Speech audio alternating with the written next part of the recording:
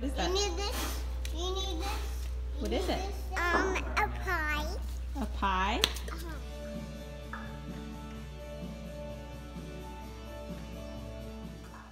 Tell us about the wiring. Okay, so what we've done is we wired it just like you would to code with Romex. But then we came back and we rewired all the lighting and the stuff that we're gonna use so we can run low voltage because it's more efficient for what we're doing.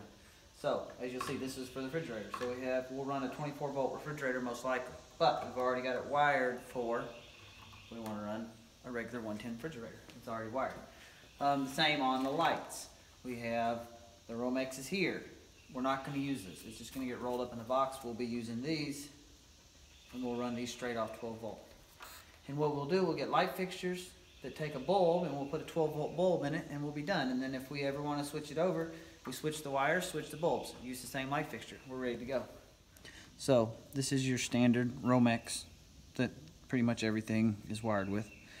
Um, and this is what we're using for our lights. It's basically, this is just a landscape wire, but it is stranded, and that's what you're going for. Stranded is supposed to be, from what I'm being told, it's enough more efficient, the efficiency level is high enough that you will notice the difference if you're running off batteries with solar panels.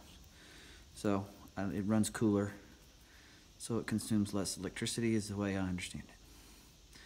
And you can see the difference.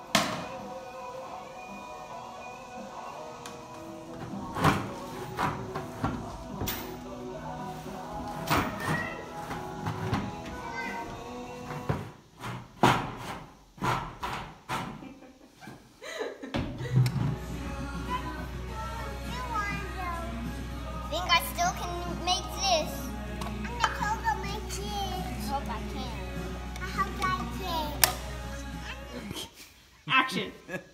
Alright, so we were trying to make an inexpensive way to make the shower the way we wanted it. And we wanted two heads. We wanted one over the bench and one just a normal shower. So if you wanted a normal shower.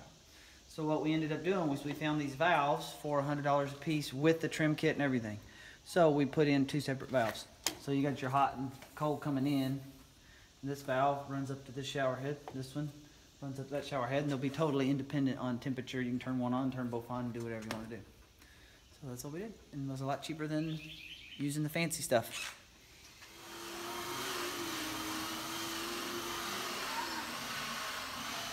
Hey girls, what are you doing?